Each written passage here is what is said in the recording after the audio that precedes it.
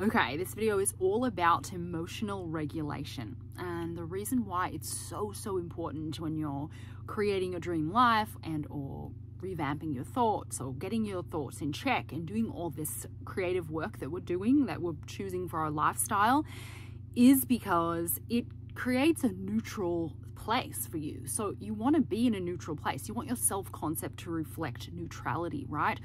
And neutrality is like the jumping off point for everything, right? And it allows you to remember who you are. It allows you to remember that your thoughts create and that you are the creator here and you are the one in charge. And this is your life for you to mold, right? You're the clay maker, you're the clay molder, I meant. So you are the one doing everything here. And so it's so massively important for you to really have this self-regulation in your back pocket, like as a thing that you do regularly, right? And a lot of us don't even realize we need emotional regulation, right? We're, we're dysregulated all the time and we don't realize it, you know, and these can come up, you know, emotional dysregulation can come up as uh, eating disorder it can come up as binge eating it can it can show up as you know uh, hurting yourself not on purpose right but accidentally right? Like it can come up in all these various ways. It can come up as yelling at someone that you care about. It can come up as you know driving really fast or having road rage or these are all the ways to notice it in your life as a way of like understanding you know that you are actually dysregulated. You know it's a way of um, a way of recognizing that you actually are you know going through a dysregulation a moment right a moment where you you're not actually dealing with your emotions and there's something in there that's creating a extreme emotion within you right it's something that you need to dissipate or learn how to neutralize, right? And this is what I'm going to teach you in this video. And it's beyond important when it comes to creating your life. And I want to give you a trigger warning as well. I'm going to try to do this in like, I'm trying to create my videos in 10 minutes or like 10 to 12 minutes. So hopefully I can get this topic out in that amount of time. So, um, so yeah, it's, um, it, it, it's so important and yes I, I want to put a trigger warning on this because I'm going to be mentioning just words basically that can be triggers for people like um because I am going to talk about a little bit about my childhood just to explain how um just just as an explanation tool so anyway so right now if you have any triggers make sure you click off this video. But I'm not going to go into detail, it's just going to be mentioning a couple words. So not too big of a deal. But yeah, I just wanted to mention that because some people can be sensitive to this kind of thing. Okay. So anyway, um, so these are all the ways, as I was saying, that it can show up as an adult, right? Like you feel like extremely stressed or you get um you know you're triggered and you're yelling or you you you feel always rushing or you doing self-harm even though it's not it, it could not be on purpose, right? Sometimes it's not on purpose. You're just stubbing your toe and you're cutting yourself and you're you're rushing and you're and you're not focused, but you can be like kind of it's almost like destructive behavior behavior that's going under the radar, right? You're not aware of it, but it is destructive and it does mean you are not emotionally regulated.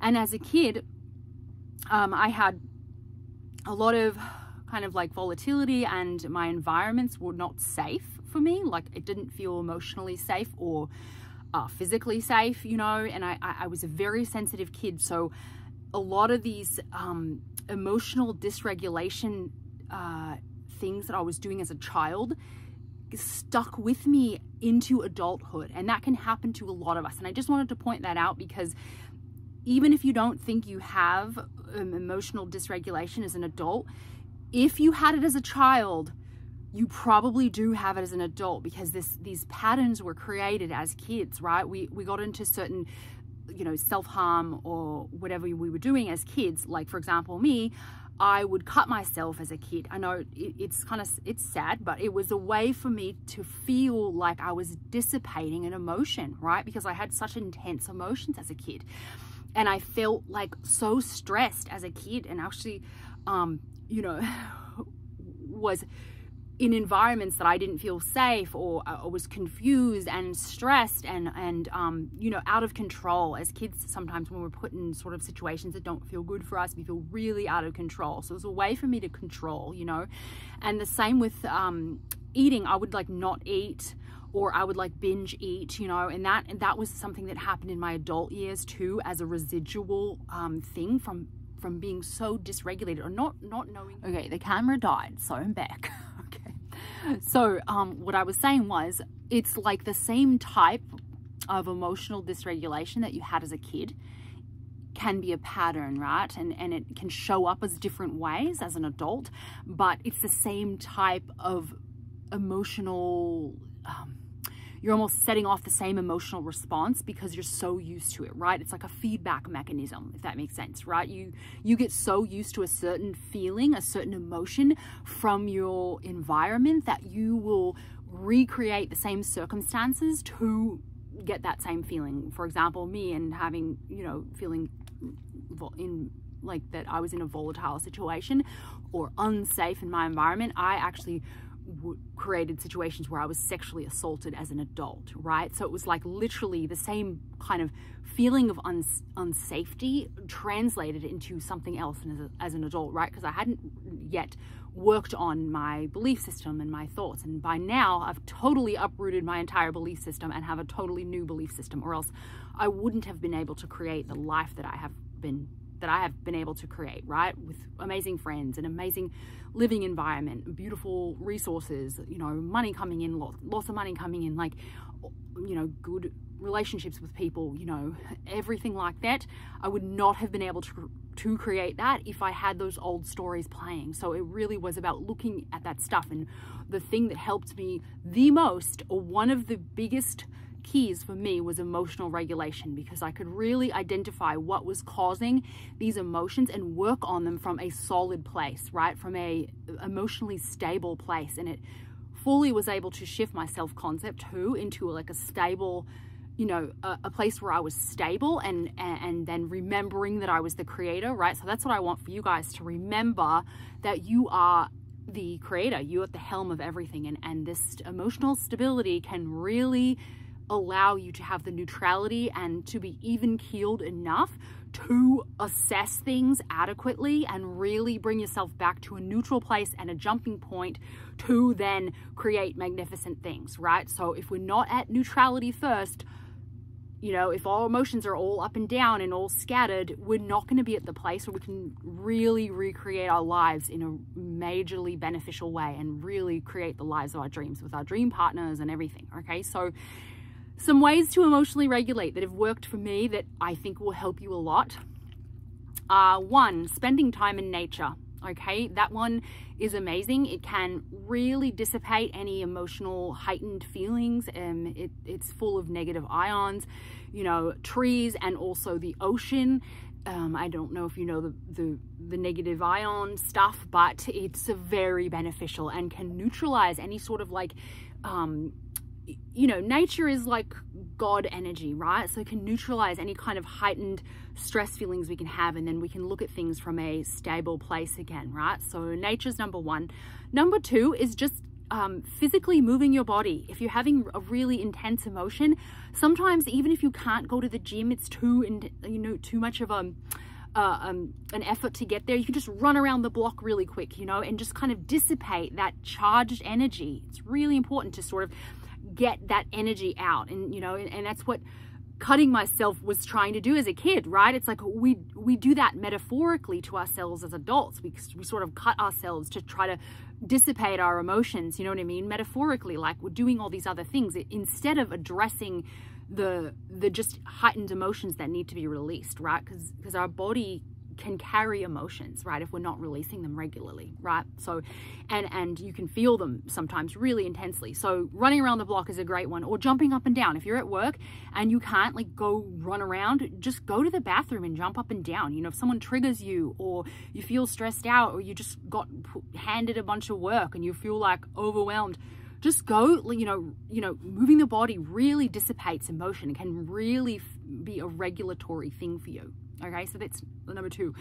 Number three is meditation. Okay, um, you know, sometimes this won't work if your emotions are really charged. Like if you have really heightened emotions, then meditation probably won't work because it's too you know, it's standing still. It's too too much sitting or, or laying or whatever, however you like meditating. But walking meditation is really, really key. I, um, I know Joe Dispenza talks about this a lot and does it in his um, in his retreats. Like they do all forms of meditation, which I think is really cool. So walking and, and reminding yourself, you know, that you are the creator, reminding yourself that your thoughts create, that this is, you know, you've adopted law of assumption, which just means your thoughts are creating everything, right? So you can kind of get a grip on yourself and you don't get so spun out and you can just, you know, walking and kind of reminding yourself that you are at the helm of this and that nothing's more powerful than you in this reality, right? Like just just reminding yourself of that is important and, and you can walk while doing it instead of sitting still because a lot of times the emotion is too intense to just like sit there. Um, and then what's another way? I do um, i do like reading an excerpt of like i don't know if you if you like the bible the bible's amazing. There's a lot of good really good you know teaching lessons in there about um, this stuff, you know, Neville talks about the Bible a lot too. So just reading Neville, you know, paragraph from Neville really will help dissipate emotions. And for me, that has worked really well to just sort of discharge emotions. Um, and um, let's see, I think those are like the main ones that I use. Um, you know, calling a friend also helps. You know, that's another one that's really good to just you know i don't recommend talking about your problems all the time but just if you if you've if you feel like you just need to talk about it once just to get it off your chest, I think that's a great idea. I think that's a, a, one that I use, you know, maybe not as much as the others, but I do, I do think that's valuable, you know, in just discharging emotions and not that you're going to carry it and keep talking about it, but just to get it, get it out once, you know. Um, you know, and, it connects you with someone, you know, someone that you're close with. I think that's important. Um, even prayer with someone, that's another, that'll, that'll be the last one I, I say, because I think that one's really good if you just pray on what you want, right? Like pray for what you want, not like praying for hoping for something, right? But if you just pray in the, in the, um, in the feeling of knowing it is done, right? That can really help dissipate these heightened emotions. But most of the time, when you're having heightened emotions, doing some sort of activity or moving your body really helps to release emotions. Like doing um, another one that i do is yoga. If it's you know I'll just do a few moves. Like it doesn't have to be a whole class you know do do whatever you're capable of in the moment you know and i i would just do down dog up dog you know and breathe with it you know so you sync your breathing with your movements and it can be really beneficial. And once you regulate your emotions and regulate your nervous system a little bit and that's what nature does right? And and if you're walking in nature same thing like it regulates your nervous system so you're not so heightened and then you can get a grip right? Then you can really you know, hunker down, hunker back down, and really remind yourself who you are and get back on your thoughts, create, you know, monitoring your thoughts, getting back into it, knowing you're the creator, and not getting so charged up about everything. I hope this really helps you. I hope you realize how important this is and, um, I didn't do it in 10, but close to it. So um, anyway, my sister's going to pick when she gets back. I think she's going to be back in maybe a day or two. So keep, you know, leave an emoji or whatever and like the video. And hopefully one of you gets a free session and or like one of you will get a free session, but hopefully you get it soon. I'm hoping she's back tomorrow or the next day. So, um, so anyway, I hope you love this. Please thumbs me up. And if you love Neville and changing your life and transformation and my unique perspective, stick around. I'd love to have you guys. Bye guys.